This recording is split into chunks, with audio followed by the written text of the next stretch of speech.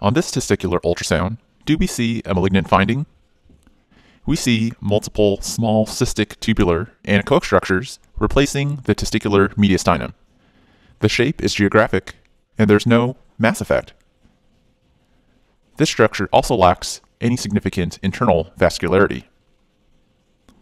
The diagnosis here is tubular ectasia of the rete testis.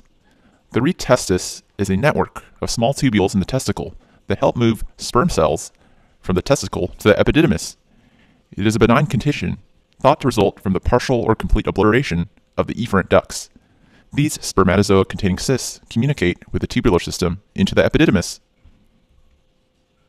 They're frequently bilateral, but may be asymmetric.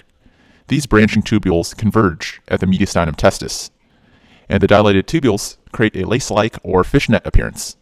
The adjacent parenchyma is normal, and there are common associations with ipsilateral spermatoceles.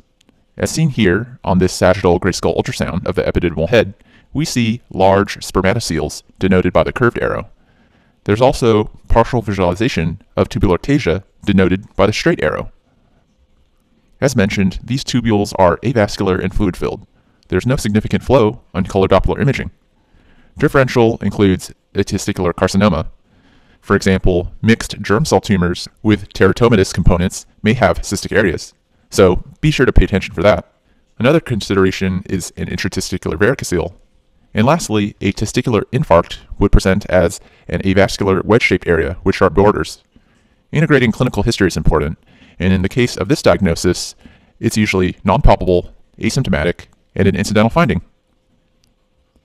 Now you know a lot about tubular ectasia of the rete testis. Please subscribe for more awesome anatomy and radiology videos.